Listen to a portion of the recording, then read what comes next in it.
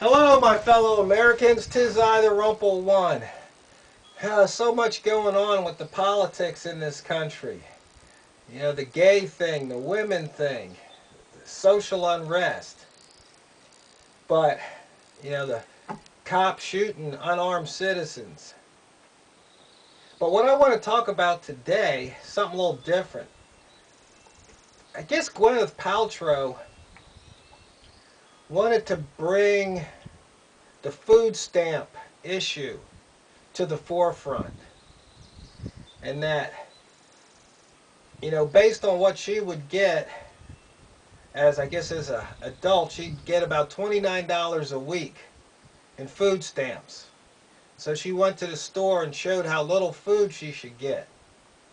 Now, some people took issue with what she bought because she says, you know, if you're that poor, you're not going to be spending money on limes and a couple of the other things. I guess maybe she went to Whole Foods or Trader Joe's or one of them, you know, fancy organic type places.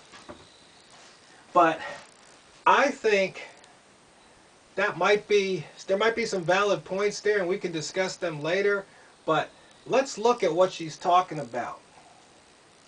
I think the question, the whole story misses the point because it assumes that the person is there.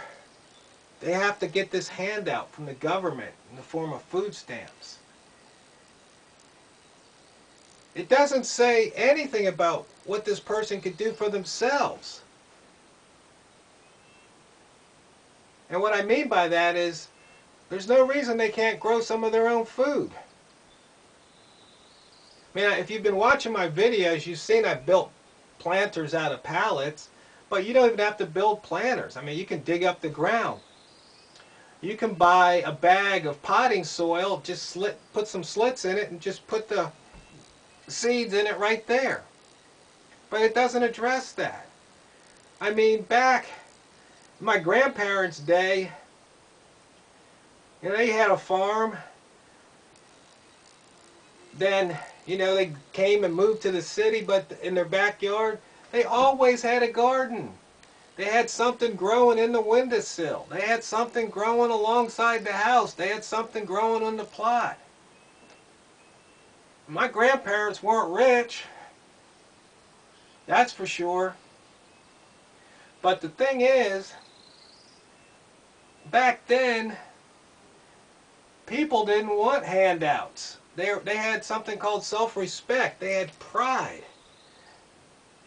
They would bust their hump 16 hours a day before they'd stand in line to get a handout. But somehow they got lost. When you've got the government giving people food stamps, and not doing anything to say, hey, here's some food stamps, but hey, here's some other things you can do. It makes people think that, hey, they just need to stand in line and get their food stamps. But I guess they don't have to stand in line anymore. You go there, you sign up, and you get a card instead of actually getting actual food stamps. And every beginning of the month, it gets recharged. So you go to the grocery store.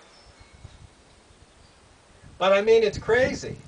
But then again, let's go back to what Gwyneth had to say.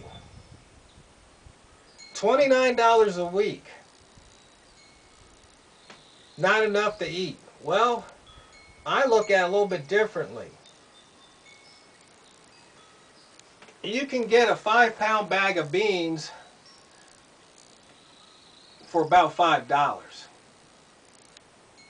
You can get a five pound bag of rice for say somewhere around four dollars. So that's nine dollars out of the 29. So now you got 20 left. You can get a can of tuna fish or chicken for a dollar a can. So let's say you buy seven cans. That's seven dollars. So now you're down to 13. Okay, I like bananas. I get a bunch of bananas. It costs me two bucks.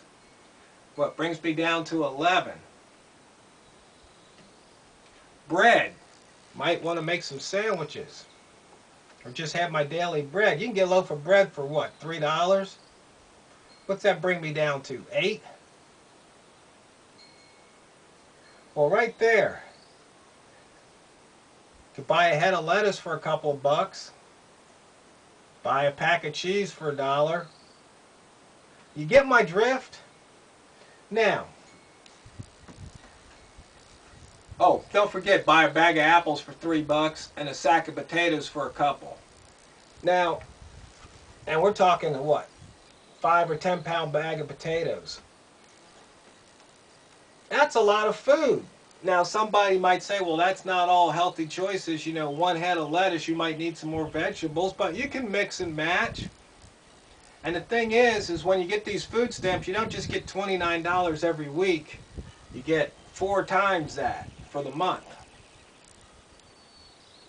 So I think with some smart shopping, catching sales, buying in bulk,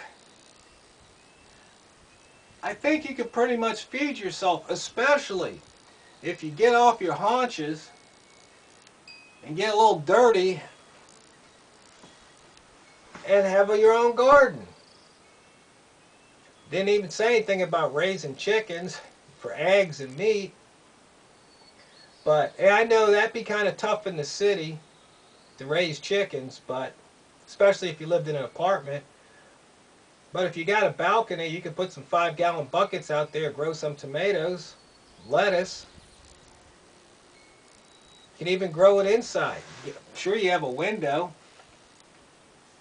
So my point is, is that when we've got these people who have, you know, millions or hundreds of thousands of, of people following them on Twitter and Facebook, and they make these statements, I think it sends the wrong message.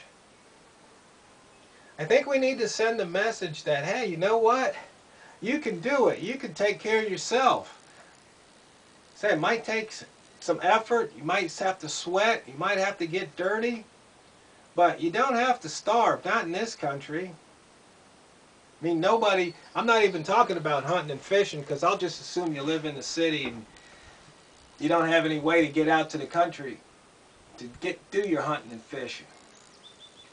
But to me, that whole issue is just wrong. And the other thing I'd like to talk about for a few minutes here is all these people making these comparisons between Democrats and Republicans that are basically false dichotomies. You know, you talk, people just want to down the Republicans, you know, because they're about their morality, you know, about people rights instead of gay rights and things like that.